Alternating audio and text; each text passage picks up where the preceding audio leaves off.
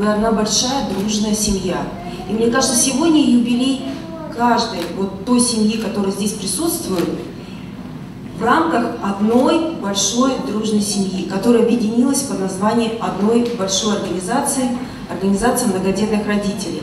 И вы знаете, если возраст организации можно исчислять годами, то те достижения, заслуги, тот вклад, который вы сделали за эти годы, я не знаю, как оценить. Мне кажется, это безгранично.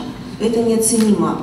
И пускай меняются эпохи, пускай меняется время, но остается ценным это любовь, доверие, взаимопонимание и, конечно, семейные ценности.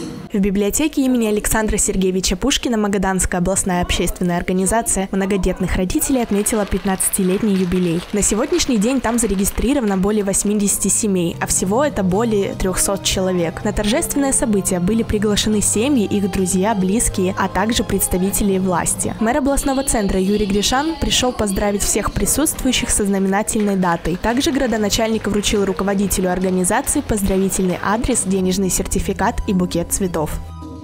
Вы хоть и областная организация, но я понимаю, что сегодня в этом зале присутствуют прежде всего семьи из города Магадана, которым я очень горжусь. Я хочу вам сказать, что э, не, не только здесь являются активными э, членами общественной организации, но все лица я знаю.